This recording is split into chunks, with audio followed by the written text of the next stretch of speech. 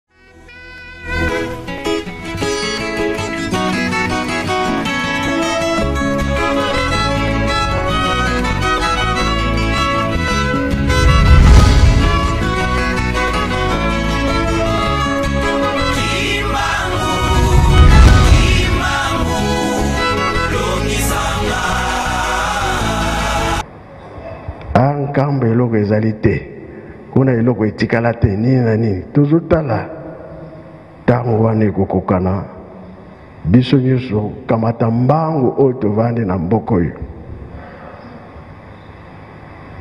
na bamboka mosusu mpe kozika oyo balingaka kopratike kosala biloko ya ndenge na ndenge bokomona moto ya kotumba yango te bon dimanche na bandeko nyonso oyo balandaka kongo kimbangu bon dimanche na bana ya nzambe bon dimanche na baye oyo balingaka tata nzambe na maine nyonso tu oyo akopesaka eh, na mibeko na bolingo mpe na misala oyo eza important na bandeko ebongi ete tokoka kopratike bolingo mibeko misala oyo tata kimbangu ayela biso na kati na mokili oyo 13 novembre 2022 ezali matinale moko kitoko oyo bana ya tata nzambe bakimbangiste banso bapusanaka pembeni ya mokonzi ya bule papa simo kimbangu kiangani mpo na kolia bilei ya molimo kongo kimbangu tokiti wana sur le terrain mpo na kozwela bino belema to bilili ya mokolo mwa lelo na ekipe teknike mobimba ngai bino ndeko jeansi makesa nazali bongo na esengo mingi bandeko bazali na afrika europe amerika asie mpe na oceanie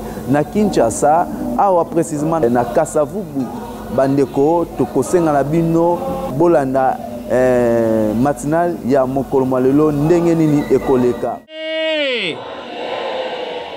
kimbangisi oye kimbangisi oye oye oye oye espoir du monde église Universel. Nkamba oye! Oye! Nkamba oye! Oye! Nkamba oye! Oye! Oye! Oye! Yerusalemi diampa dikundanga tata nzambi mfumu Yesu ye tata mwanda velela. Papa Simo Kimbangu Kiangani oye! Likambo esika ebutaka nzete. Papa Simo Kimbangu Kiangani oye! Papa Simo Kimbangu Kiangani oye! Oye! Oye! Oye! Papa Simo Kimbangu Kiangani Mwanda velela wazola walembi zola kaka ye kaka yandi kaka yandi kaka yandi kaka eh. ka ka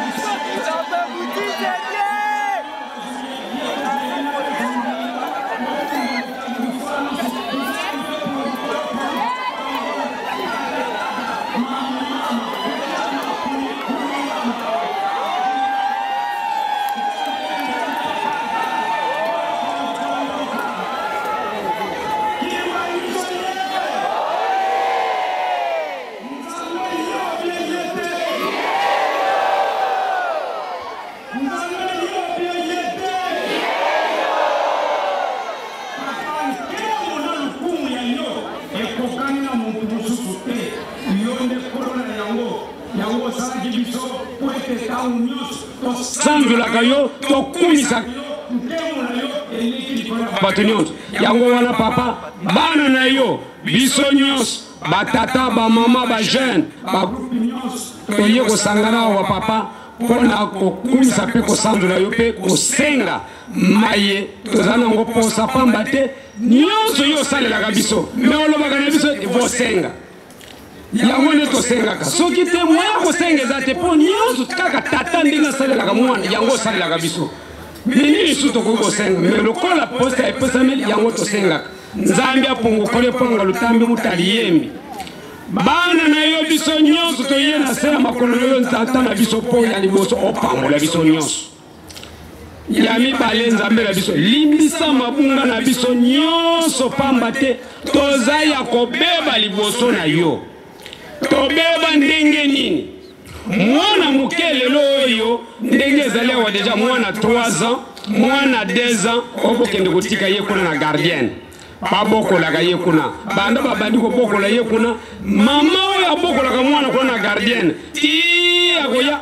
akoyeba lisusu makambo ya mama na ye na tata na ye na ndako te mwana oyo akangami kaka na bizale ya mama oyo abokolaka ye na gardienne akoya kokɔta na premier primaire ti akomata bizaleli ya tata na ye na bonkoko na kinkulu ya tata na ye ayebi mpe losantu na bango lisusu te akomi kaka losantu ya bato mosusu biso nde kobeba na biso yango wana papa pamba te banda tokenda kokɔta na baklasse maye bamindele bateyi biso badeforme histoire na biso nyonso mpo toyeba yo lisusu nzambe na biso te toyeba bango bango bakomi banzambe na place na yo yango wana papa tobeba kokangela biso motema te nzambe tata mwana molimo santu yo wana yo obungulaka eloko ya kobeba ekomi ya kitoko obungulaki nzika ya kopola ekomaki ya kitoko papa bungula makanisa na biso nyonso ndenge tozongi na se ya makolo tozonga libela nzambe na biso makanisi na biso ezalaka kaka epai ya yo tata nzambe na biso mayele oyo ya yo nzambe yango nde tosalela oyo babebisaki biso mpo na kodeforme histoire mpo toyeba yo lisusu te papa bungisa yango na mitu na biso yo nzambe kaka moto ozali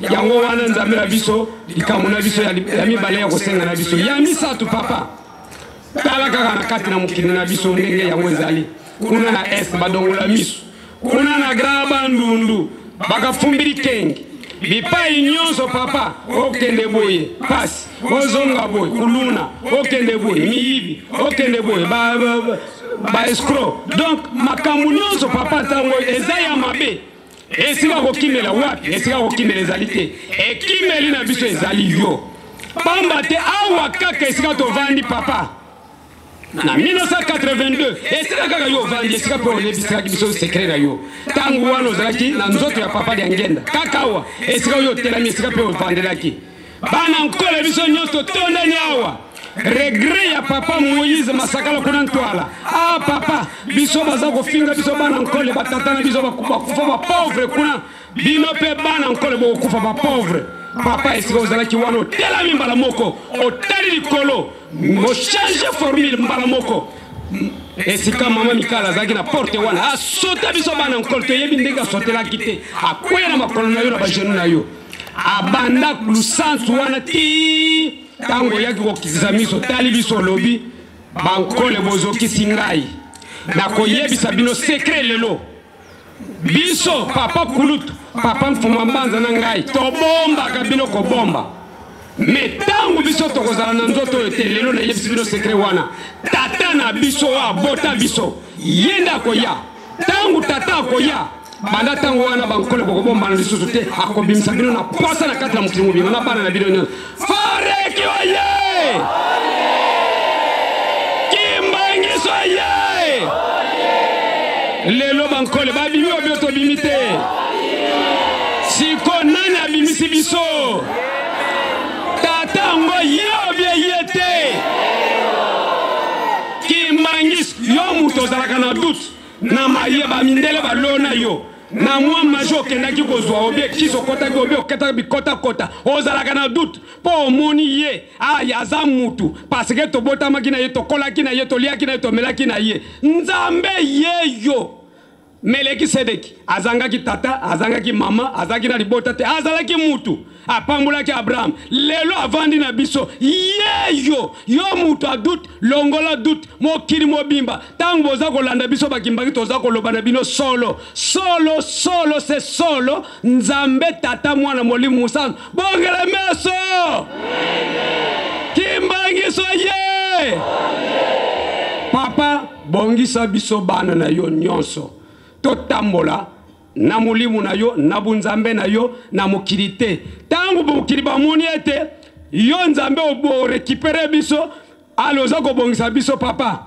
tala mokili ndenge bitumba sali ake kobimisa satana abimisi bisengo na ye nyonso abombaki ya suka mpo na kobundisa biso surtout bagene toza koyeba lisusu te nini biso nyonso tokomi kisakasaka papa tokomi kisakasaka yango wana papa bongisa biso oyidika biso na kombo ya tata mwana molimo mosantu amen kimbangiso ye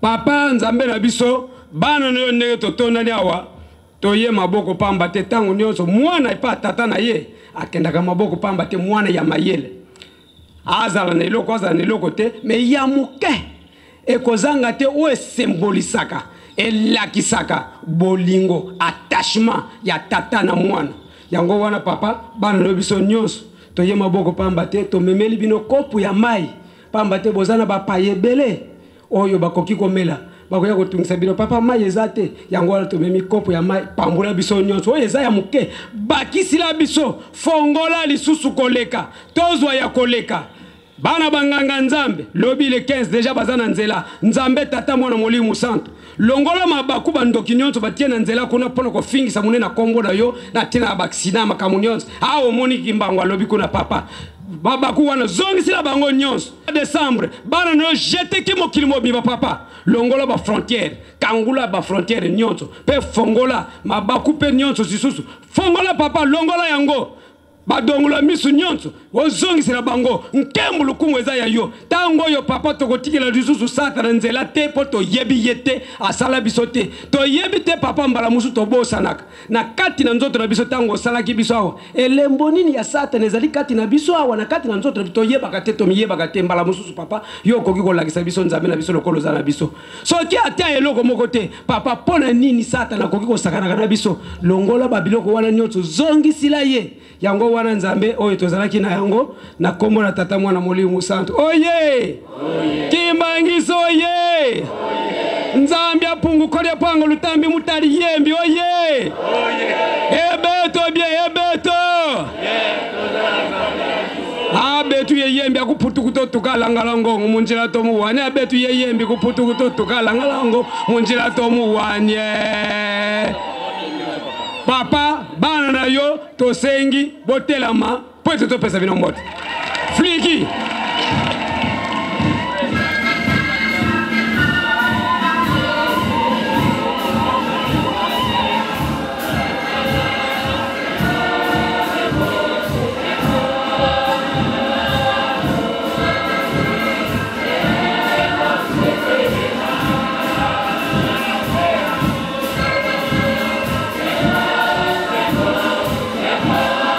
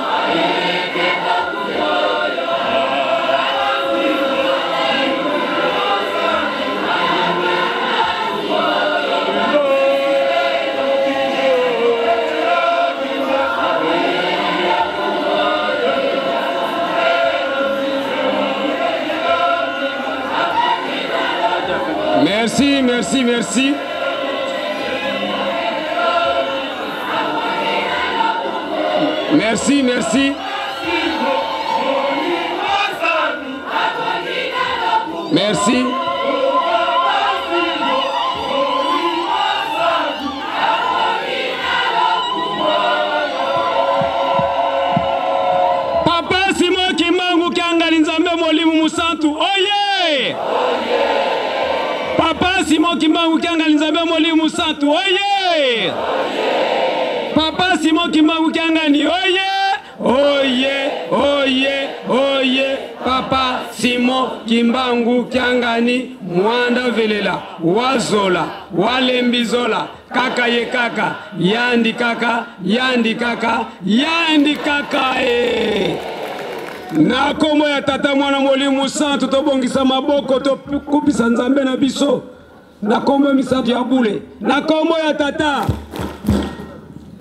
ya mwana ya molimo santu papa bana na yo balingi koyoka mongongo na yo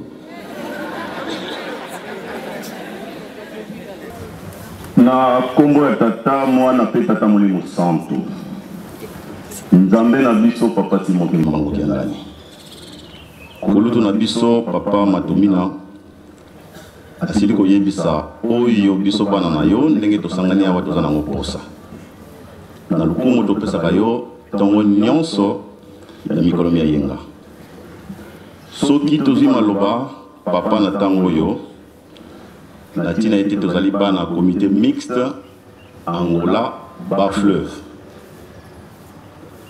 na 2010 kuna na tadi obengaki bambuta olobi ete banda lelo angola banda korekupere mwana ya suka oyo ya ba fleuve bayombe bango nyonso batikali bazali bana na bino bokorekupere bango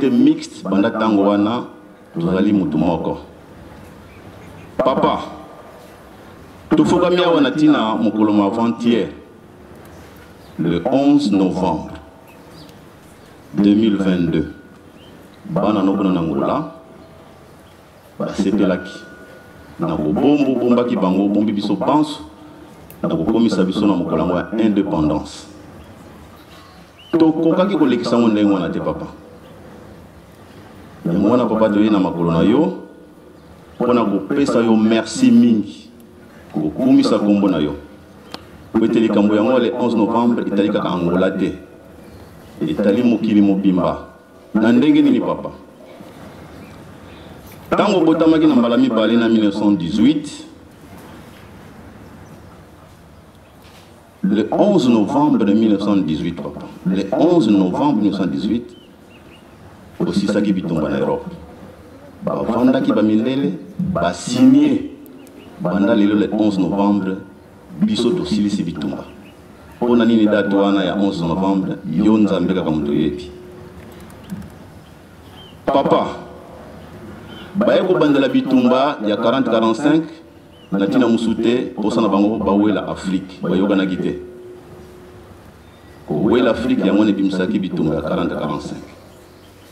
Bakoko na biso bamoni mpasi balakisi bolingo monene 1956 bolingo ya 1956 oye kofungola banzela nyonso papa le 24 décembre 1959 lingomba na rdc ezwi bonsomi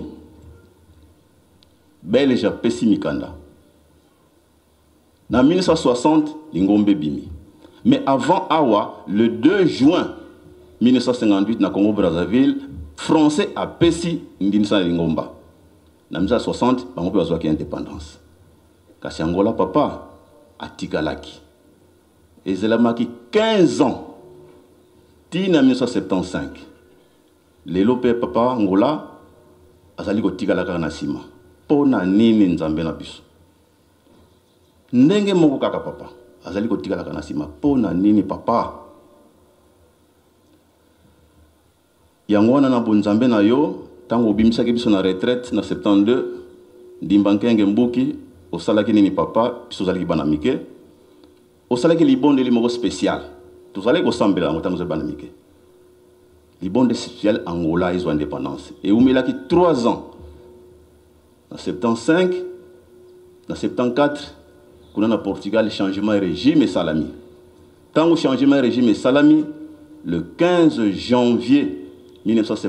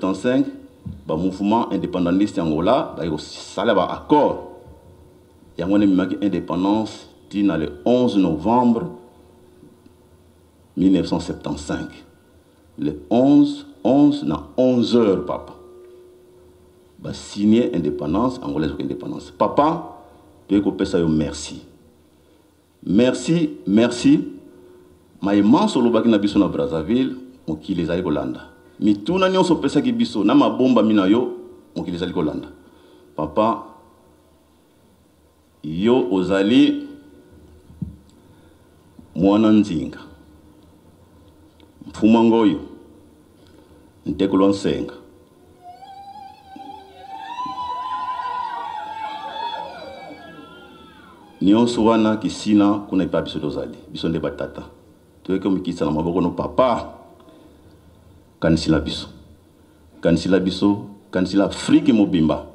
Elobami awa maye mazali koleka na Est, ezali koleka na Bandundu, ezali ya mpasi. Ba responsable na bango quelque part biso oyo bangole tovandi awa. Ba responsable makambo nyonso wana papa. Opesaki biso dossier wana mais tozongisa na maboko na yo moko oyebi tango. Papa, toye maboko pamba te. Fleur yango oyo papa ya alliance te kozongisa maboko na papa.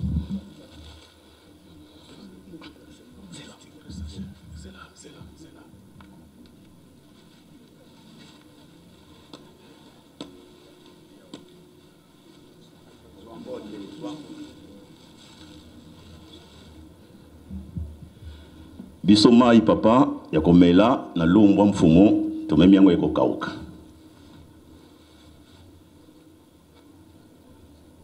tufokole kwetu nzambe tomona nkumbu ya se mwana mwandavelela amen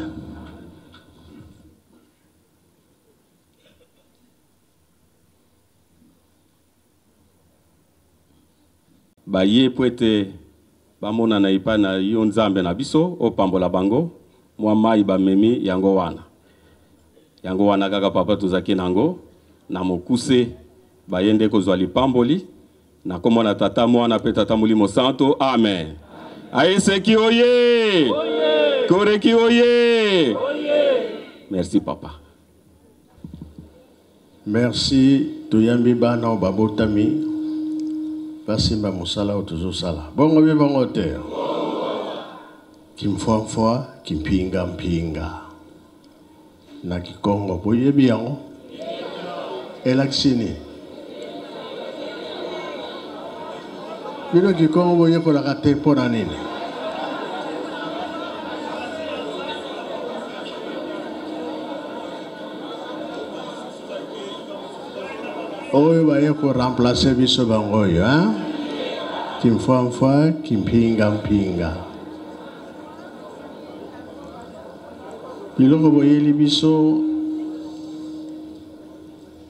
Bakolo baloba ete kolia malamu babetelaka yango maboko mbala boni? Tosali bien. Merci. Komisa kozonga okende ovanda.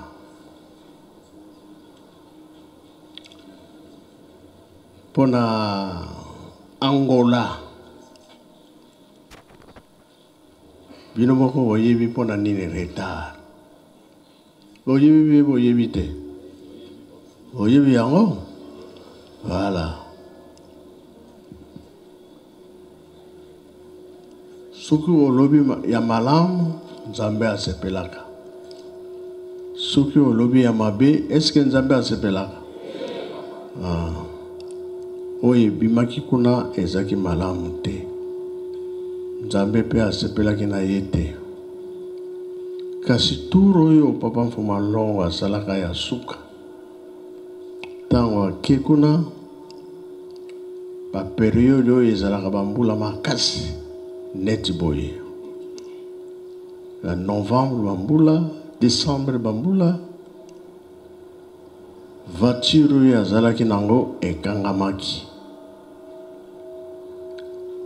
Bato baya kotindika camion ya papa ezalaki ba soda.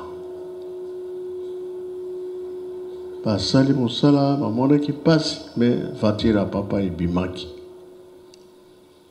Ntango voiture ebimaki, papa, ah, bato oyo bamoni mpasi, napesa bango eloko ya kolya.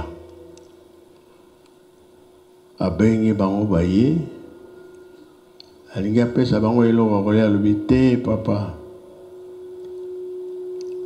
biso tosengi kaka independance. Mbala moko Nzambe ayokaki. alobi nakei na nsima na nga bokoyoka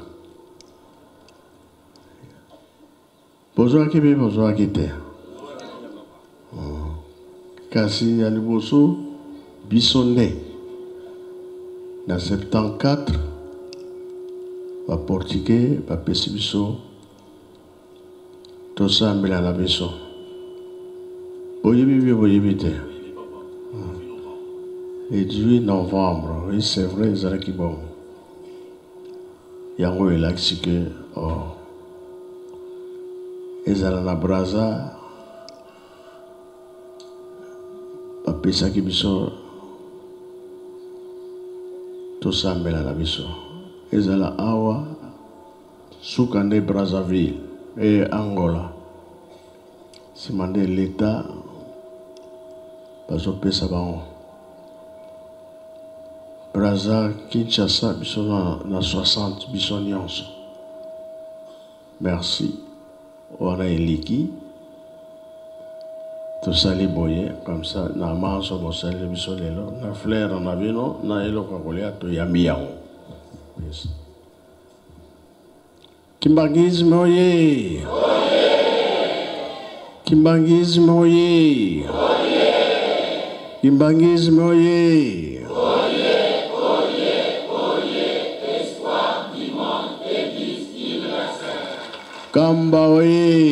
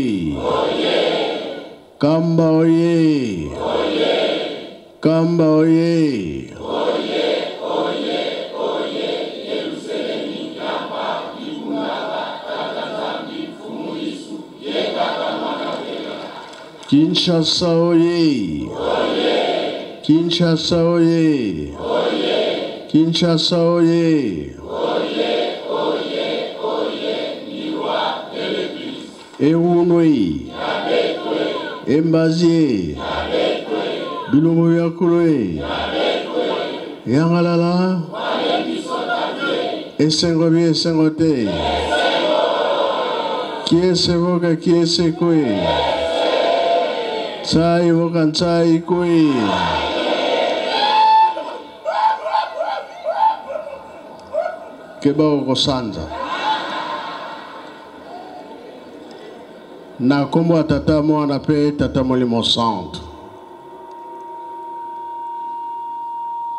merci merci merci oyo toza koloba ntango nyonso biso bajeune biso tokangami na bino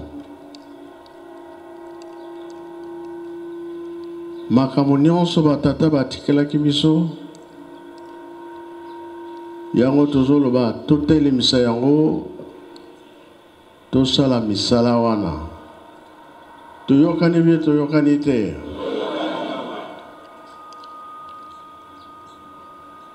Nzambe aloba boye. Ye akosala susu mutu te. Biso kaka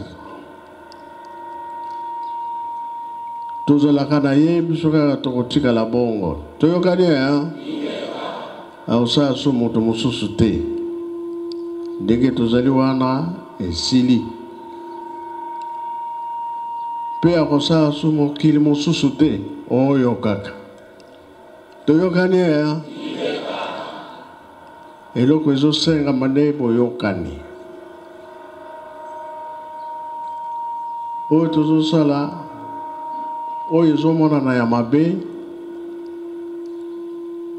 totika yango Biso tolingi tolonga. Mpo na nini bapromese Nzambe apesa biso ezali ebele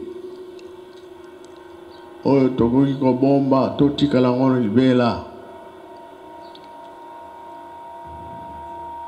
toyebi ke satana alingaka biso te Bizaleli ya mabe eleki mingi.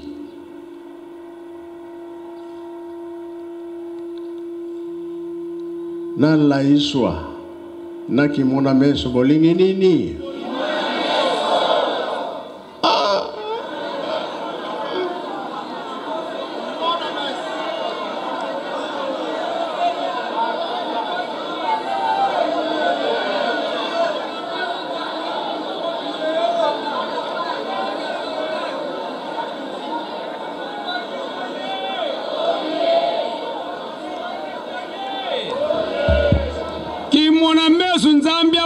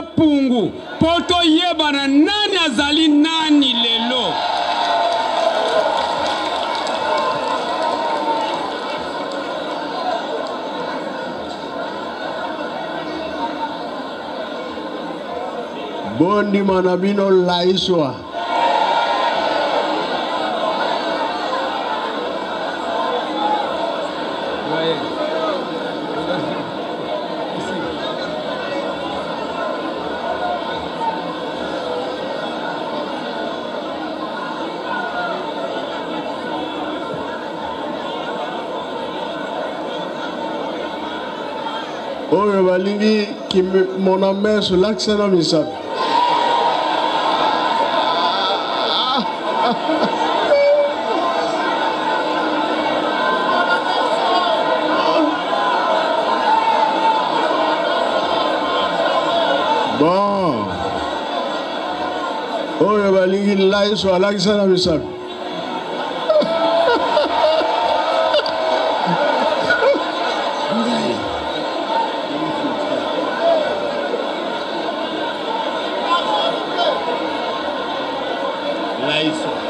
bon ngai nalingi laiswa papa laiswa ngai oyo laiswa we papa soki mpe okoki kolinga naloba mpo na nini mpo na nini Na kombo ya Tata, Muana pe Molimo Santu, osili koyebisa biso ete Tata Nzambe akosala esu mokili mbala mibale te, akosala esu mutu mbala mibale te. Asi asala programme na ye, toteyamaka na Bible epai na yo.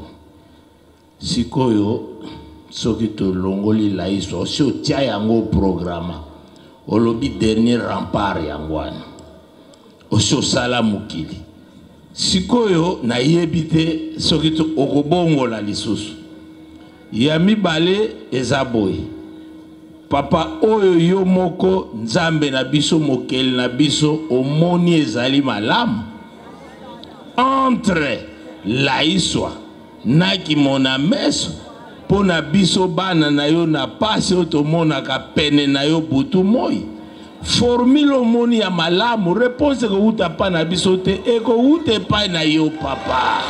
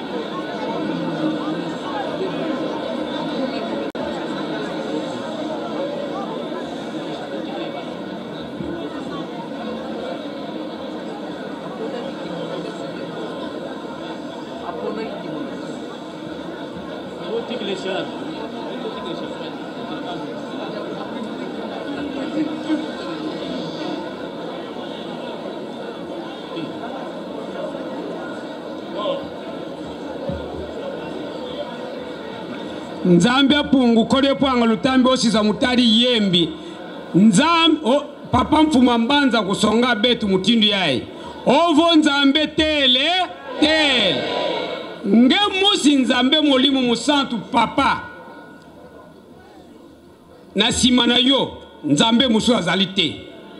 Ebandeli suka ezali yo, Tata Nzambe. Kobongisa, kolongola, eza kaka yo. Yo moko, Tata Nzambe, olobi yango na temple mbala moko liloba wana ekenda mokili mobimba ete ifo tomonaki mona meso mpo ete bato bandimaka yo oza nzambe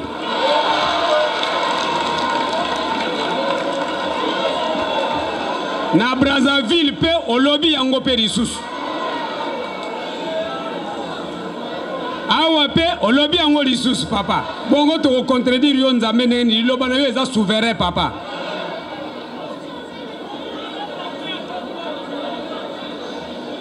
ya solo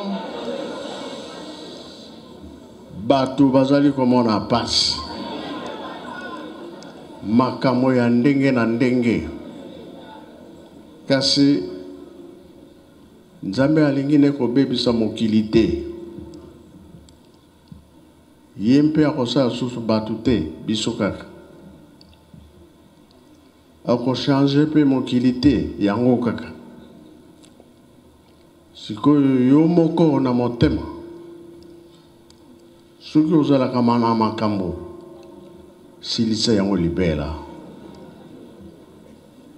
mpo mpasi eleki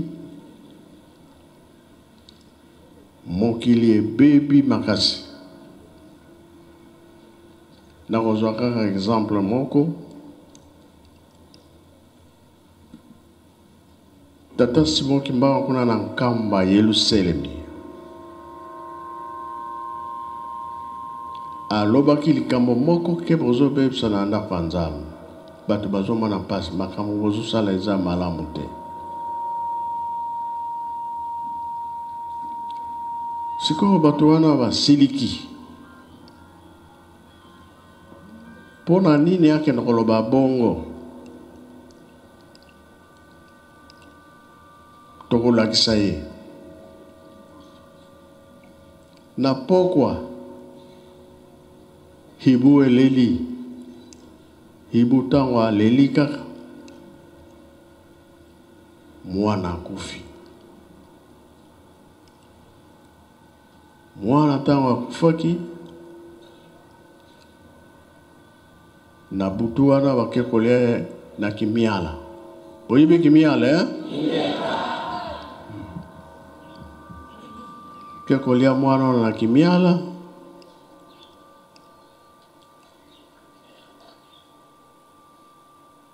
Papa Kimbangu ye moko alamuki ntango abimi kaka papa Kulutu mpe abimi alandi ye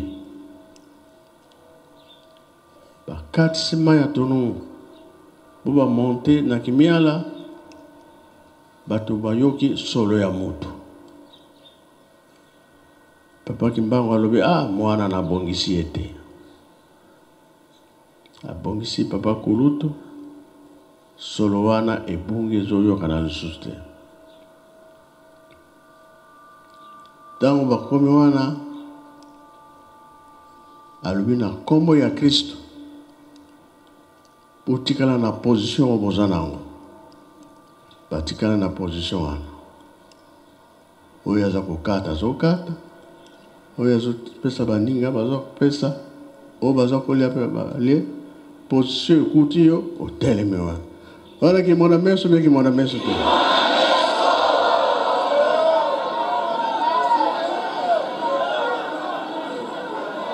Yango bolingi mpe yango te.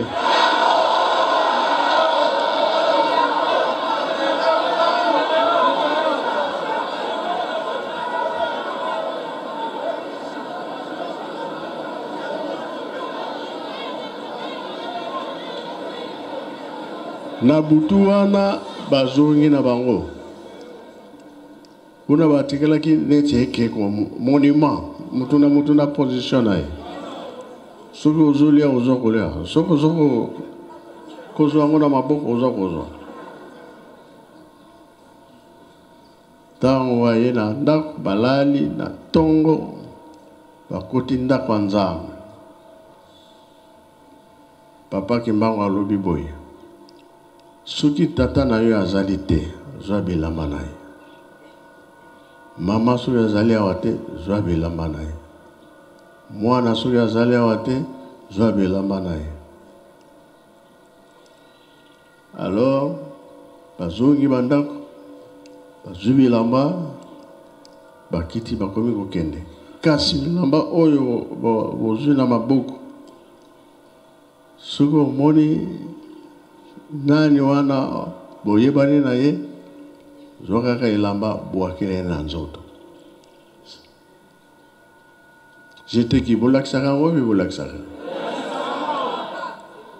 boza bapaya boni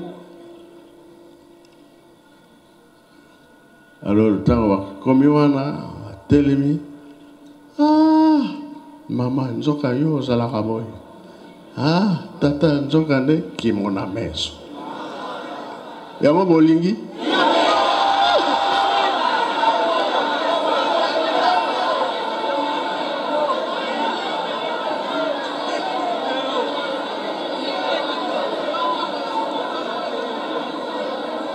oyo amoni ke ah papa nzoka oza boye e eh, mama abwakili elamba areve mbangu akimi na yake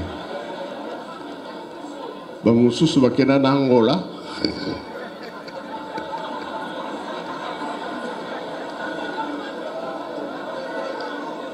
bamosusu bamata likolo bamosusu bakota na angola na brazzaville bakenda libela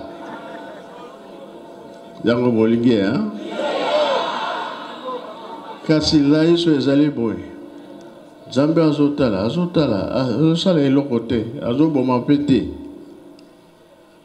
kasi biso kaka nde koboma bato alors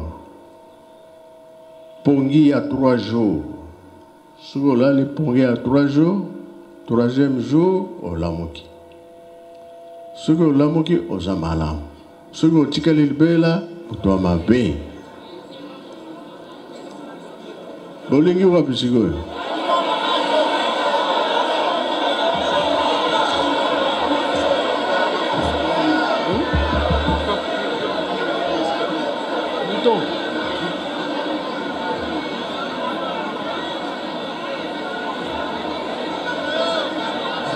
Kimbanguisme oye! Papa, nakanisi tozo comprendre formule malamu te me tika nde omeka koloba ntango kimona meso esalamaki na kimiala Bake na Brazza, bake na Ntando, bake na Angola par ci par là. Bazali to baza nante ti lelo. Bon.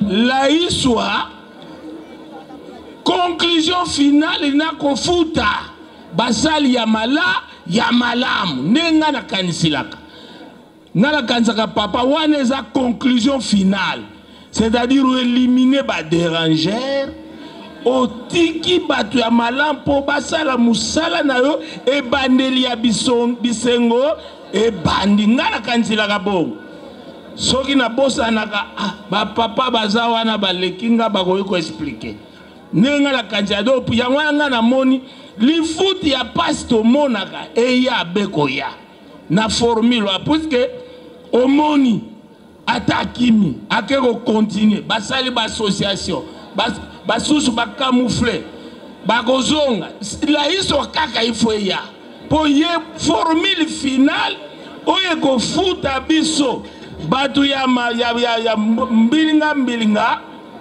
Ba elimine bato ya malamu batikali babandi kosala mosala na yo na se na sembo. Na sisi papa na kombo ya tata mwana pe molimo santo. Yango nga nalobaki boye na ebandeli. Nzambe akosala susu bato te biso kaka.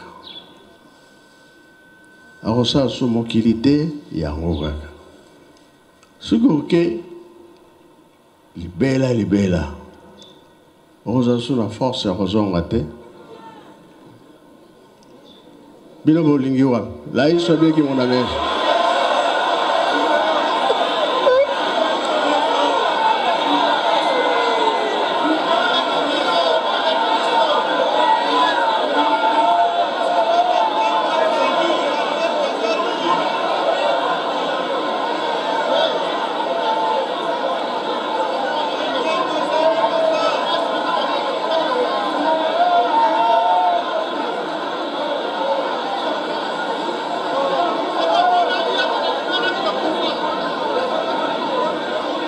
Kimbanguisme oye!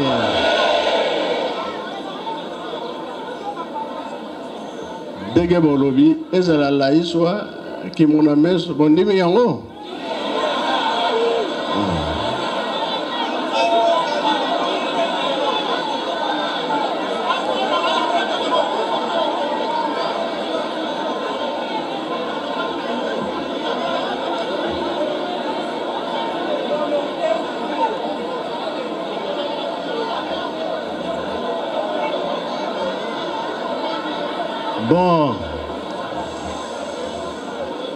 biso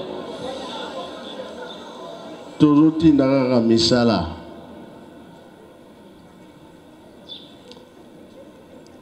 papa alobaki tolona tosala nini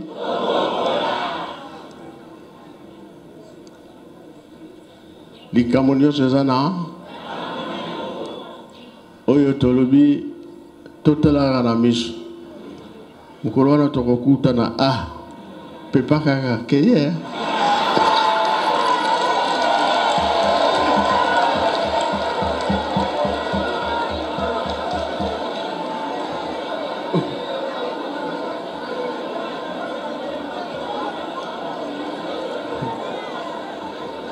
mpo alire oyo tokomi nango mabe eleki meme na kati ya lingomba danger ezali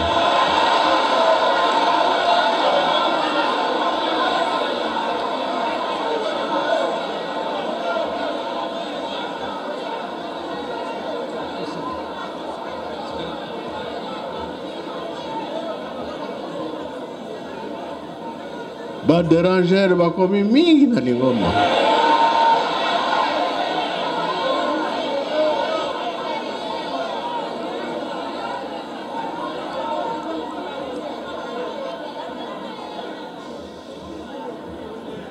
dirigeant tolingana toyokana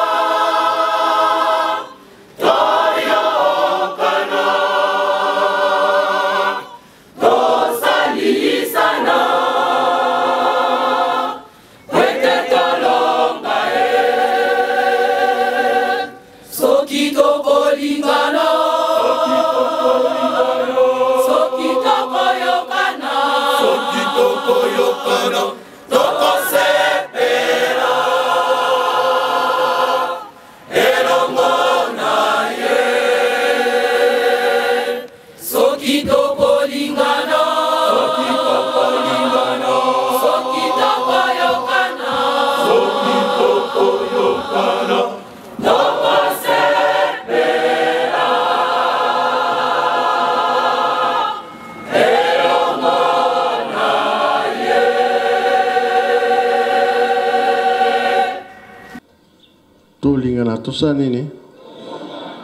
Mpo na nini? Tolonga eh?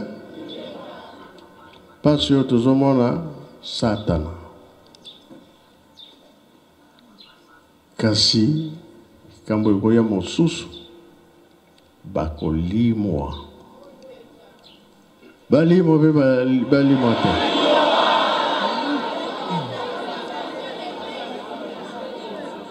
Mpo Biblia alobi bongo. Na pasteur, Biblia elobi nini? Bakolimwa mpe bakolimwa te. Bayoki te. na kombo na nzambe tata mwana mpe tata molimo santu tata molimo santu papa simoki mwakiangani na motuna otuni biso mpo na bato ya mabe solo papa bato ya mabe bakolimwa bakomonana lisusu te na ntina oyebisaka biso ete meme likambo etali laiswa to eh, lisekwa Mokolo mosusu olobi na biso ete lisekwa epesami na moto nyonso te, me lisekwa epesami na moto oyo ntango akufi akufi na kimia nyonso, aza na probleme na moto te, aza na ndoki te, aza na maji te, aza na makambo mabe te. Ntango ye akufi akosekwa, me oyo akufi na mabe na ye papa, moya sekwa aza te, alimwe libela papa. Eh, nani andimi kuna?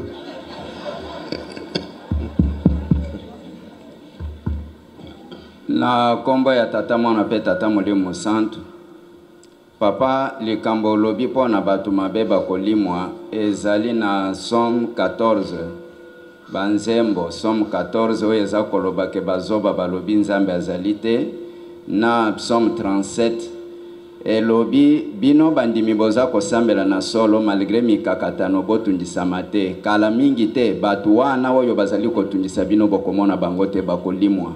Wana psaume 37 eza koloba ndenge wana. Na ntina ya layis wa Papa, na kati ya mokanda ya Tata Nzambe mpe ekomami ndenge wana. Ndenge ozali ko expliquer ezali mpe ndenge wana na mokanda ya Apocalypse. Elobi, Mikolo wana bato bakolala pongi trois jours. Oyo bakokufa bakufi libela, oyo bakolamuka balamuki libela. Wana nde ekozala bisengo ya mille ans, ndenge obongisaki yango na mokili mwa moke yango wana, Papa. banani balingi ba vivre 1000 ans ah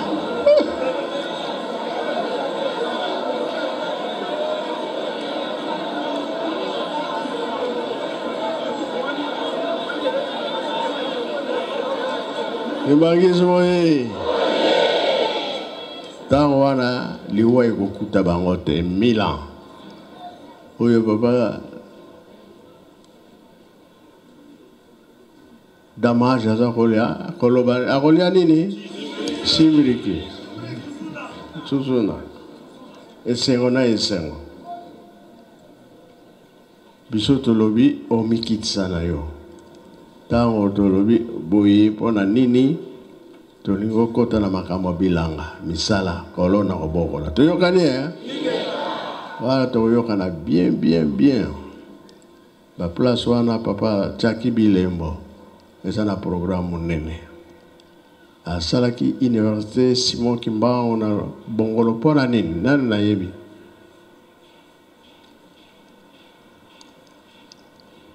kuna nde baagronome bakobima bato mayili na ba veterinaire ba docteur wana bakobima mpona te kolona kobokola toyokani nga nakobosana te nakosala manso tosilisi boye na nkombo ya tata mwana mpe tata molimo santo amen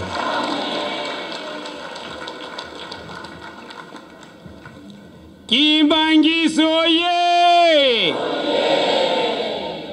Papa oye! Ebeto bie ebeto! Toyoki obie toyoki te! Ah! Esengo na libota oyo ezali na Yawe Nzambe na bango. biso toza na esengo mpe esengo te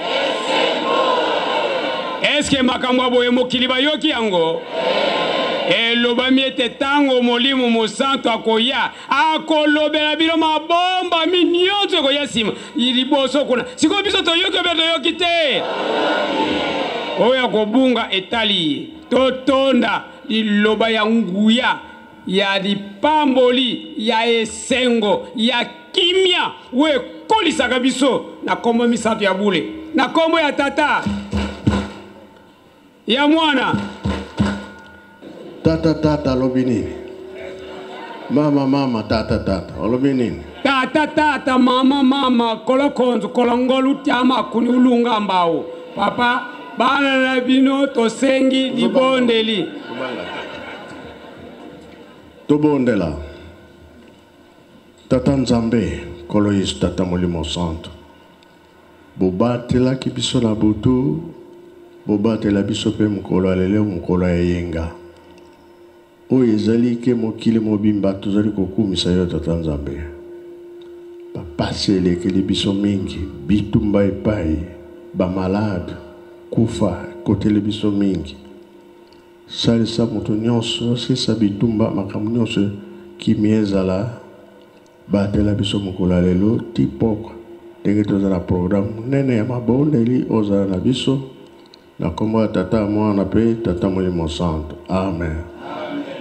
Luyendaki ya mbote.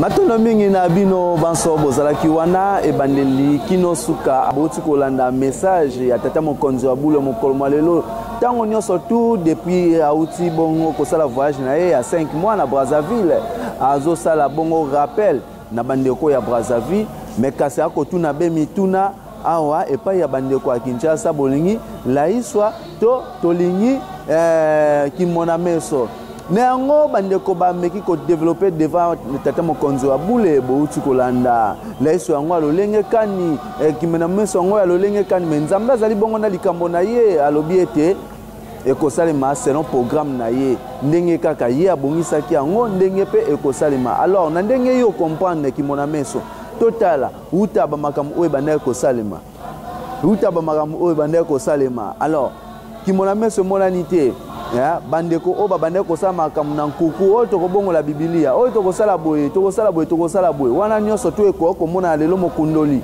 akokundola makambo oyo ebatama eya kobima bongo na polele eza kimona meso te alors tata kimbango alobaki ete triage matiti ya mabe na malamu ekosangana mpo ete yawe akopona et enfin jugement dernier ekozala biso tobongi ete tokoka kosala na malamu to répondre na besoin ya tata mokonzi wa bule to répondre na eh, likambo oyo alobela biso bolingo mibeko misala abandaki bongo na mobeko kasi akei bongo na bolingo asengi nzembo na kora de dirigeant mpe asukisi bongo na misala tolona tobokola alors Eh, yo okorepondre nzambe na nini bisika ozali tata mama yeba ndenge nini ya kososola message oyo aza na besoin ya korekupere bana na ye baherite mokili oyo ye akobandela yango lisusu te akosala yango lisusu te akosala lisusu moto te me kasi bato nde ya malamu bakoherite bako evolue na systeme ya sika oyo ye aza place mpo na mokili na ye ya sika kongo ya sika kongo avenir kongo kimbangu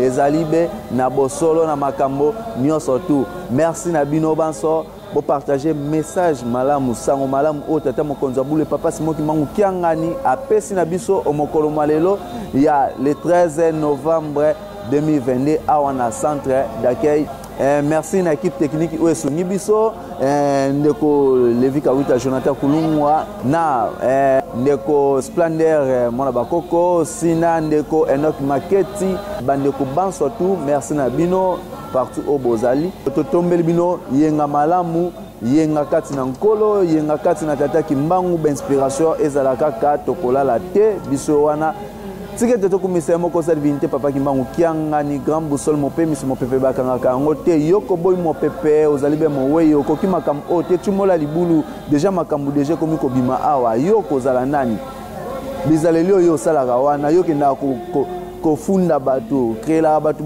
bamontage ba osalela bato bamontage mais awa eza susu montage te yeba bien ke mabe oyo osalaka ekomonana pwasa bakodenonse yo bakomona yo mpo ete bana oyo baye koservi tata nzambe na bosolo bato oyo basufrire mpo na likambo ya tata nzambe bakokaka kobenefisie na mokili oyo ye apesa nde na yo moto oyo na moto ye abomaka yango oyo na makelele ye akitisaka yango soki layeso ye te tokozala kaka na biso na bino mikolo toza na na kimona meso avala yesu eya kimona meso nanu papa ye moko alobi yango donc ifo tomona yo toyebana eh, eh. makambo tu ekomi be na pwasa boye ee eh, mwana tata nzambe yeba nini akobongisa ye tomona bongo na mikolo ezali koya ciao